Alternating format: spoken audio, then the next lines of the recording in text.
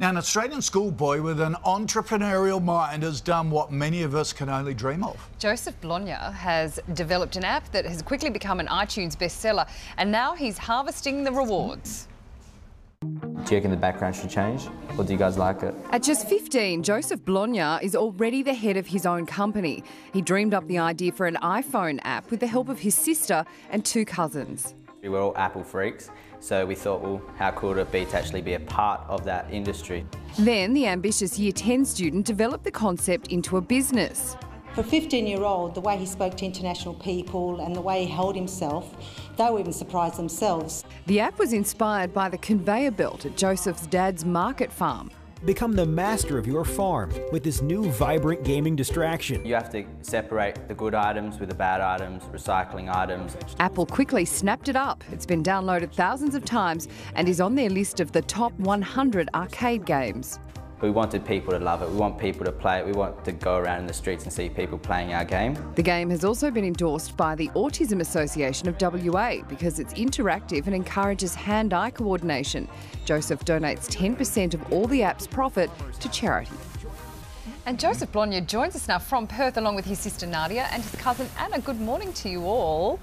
Joseph, Good morning. way to go. Why did you you decide to create this app in the first place?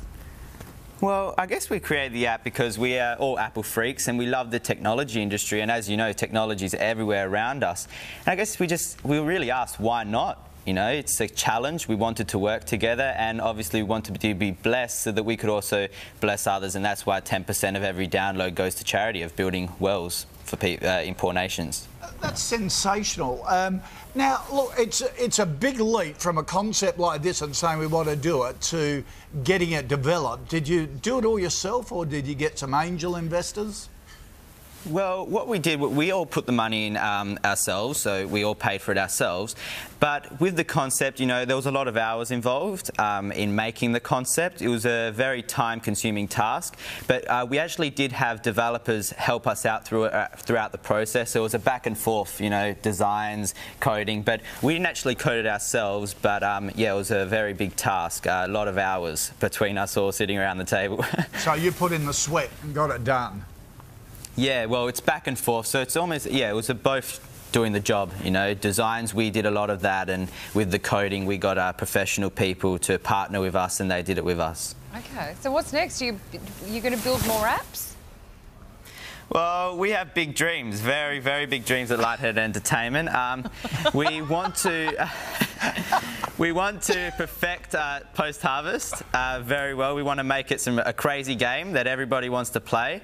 But we have many um, ideas for other apps and some other areas that you guys will soon find out that are very exciting. Oh, you got, you've got a dose of the Zuckerberg to you, I reckon.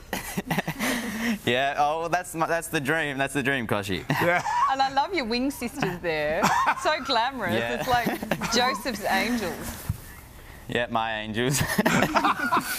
Until we find out it's your cousin and your sister. hey, cool guy. like, like a typical geek. Oh. Good on you, mate. Yeah. Exactly.